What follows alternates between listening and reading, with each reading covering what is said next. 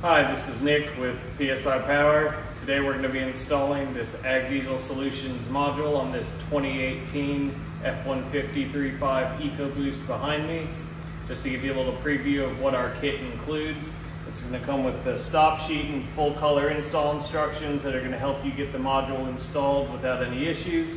It's going to have the module itself, a four position switch that you can route into the cab if so desired, your module harness that'll plug into a few different sensors under the hood and then zip ties to make sure everything's secure once you're done installing it. Getting started with our install, you're gonna have to remove the engine top cover right here. You're gonna need a ratchet with a 10 millimeter socket to reach the two nuts down inside here. Once you loosen those, it should lift right off.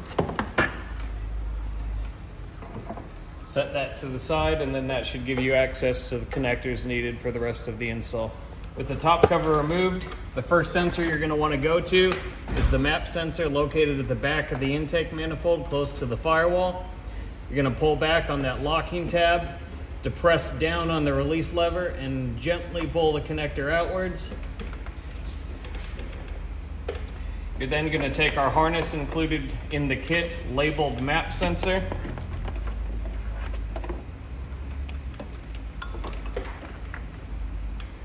going to plug our harness into theirs until you hear an audible click and then lock that locking tab again. And then take our other connector and go into the factory sensor. With the map sensor installed, you're next gonna come here to the T-map sensor located on the boost tube right before the throttle plate.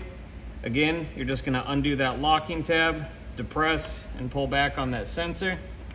You're then gonna take our set of connectors labeled T-map. First plug it in to their harness until you hear that audible click and then hit that locking tab again. And then you're gonna take the other connector and go into the factory sensor. Make sure it's locked into place.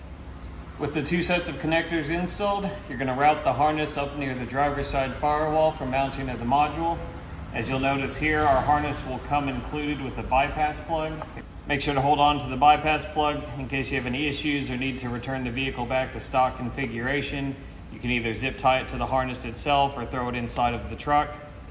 Otherwise, you're gonna take our module here, plug it into the end of the harness, and then secure it in place with zip ties. Lastly, you're gonna install our four position switch. Plugs into the lead right here. And from here, you can either just zip tie it underneath the hood of the truck. It's what a lot of our customers do. It's not gonna be a problem at all. Or if you so desire, there's enough lead here to route it inside of the cab. Either way, your four positions as such, all the way counterclockwise is gonna be your stock, low, medium, and then all the way clockwise is your highest setting. Thank you for joining us today installing this module. If you have any questions, feel free to call the number below or visit our website. Thanks.